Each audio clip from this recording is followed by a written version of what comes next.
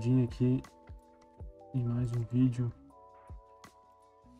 Esse videozinho aqui a gente fez uma brincadeira aí com uma simulação de tecido. Tá lupado, ele vai até o final e dá um reverse e fica lupado dessa forma. Uh, movimentei algumas partículas com Geometry Nodes e instanciei esferas nela e coloquei uma esfera maior por fora, coloquei um modificador de tecido e é isso aí, é isso que a gente está visualizando. Vamos dar uma olhada aí nesse, nessa construção, fazer um breakdown desse arquivo. É, vamos lá. Vou abrir aqui o arquivo.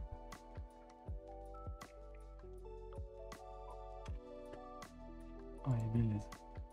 Esse aqui é o material de textura. E aqui a gente tem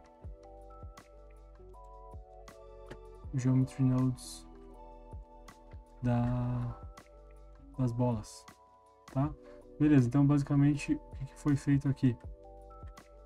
No logo de cara aqui, ó, se eu esconder essa, essa instância, a gente pode visualizar os pontos, ó. Aqui a gente tem os pontinhos. Então o que, que a gente fez? A gente criou um, um index e fez um noise uh, desses pontos que foram criados aqui, points. Então simplesmente uh, se eu conectar os points aqui na, no Geometry Nodes aqui da saída, a gente vai ter os pontos, a quantidade de pontos, né? E a variação deles, né, da posição, ela está sendo afetada aqui por essa node tree aqui.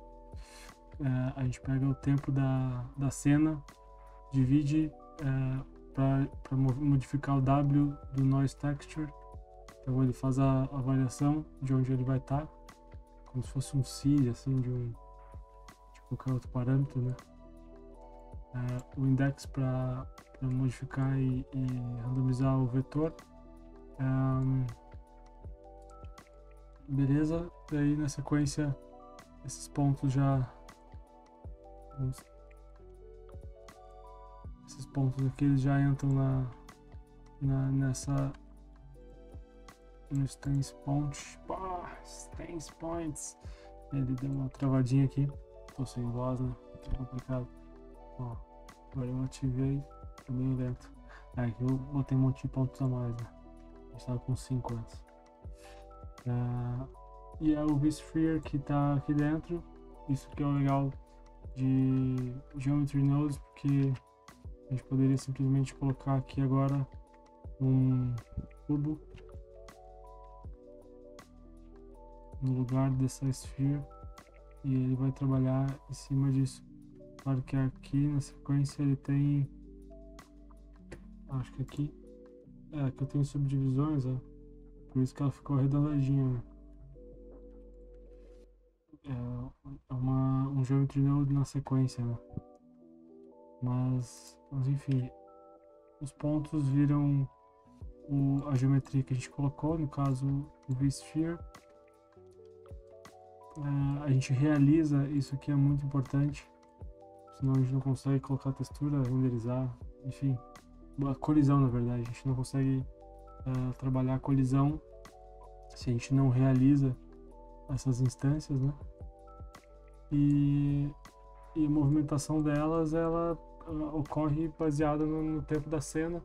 Então, a cada segundo ela vai, vai, vai, vai alterando e a gente pega esse, esse segundo e vai fazendo uma divisão aqui para rotacionar o Y e o Z, no caso aqui.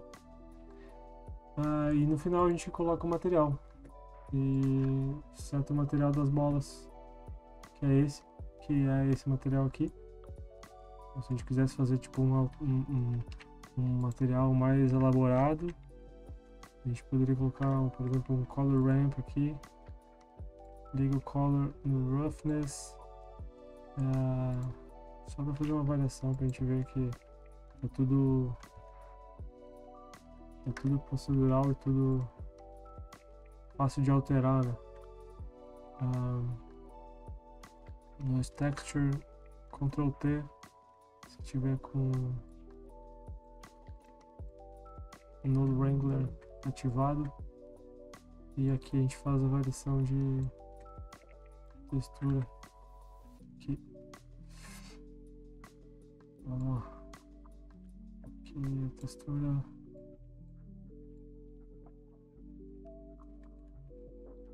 Pode mudar a escala.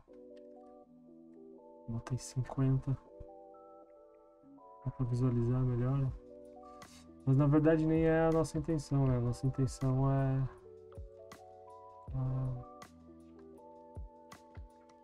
é trabalhar com a textura. com a brincadeira ali do. do tecido, né? Esse aqui. Textura desse tecido aqui é a básica também. Eu botei um gloss e um glass. Botei um mix shader para misturar os dois. Uh, depois mais um mix shader para misturar translucent e transparent. É, coloquei no material normal aqui. E é basicamente isso.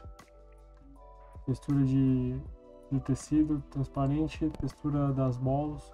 As balls são geometry nodes. E Vamos onde está aqui? É, Geometry Nodes das balls. E se a gente colocar aqui a timeline,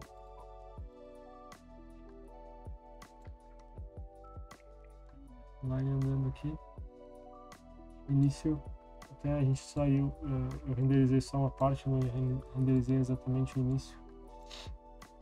Ah, zero aqui. O início ele está bem em formato bruto, né? Ah, ele tem uma gravidade que esse, essa textura, essa textura não, esse tecido, ó, esse tecido tem quatro subdivisões no render aqui, ele tá só com uma para não pesar. A gente tem a, modificador de cloth e aqui a gente pode visualizar as, os parâmetros dele. Ah, e é basicamente isso. Tem uma gravidade nesse cloth, ele começa a interagir então com as bolas, ele tem colisão. E, e é isso. Não tem muito mistério. Ah, por fim, a gente renderizando o GPU, render .01, é, max samples de 200, sem de noise e ser feliz. Valeu!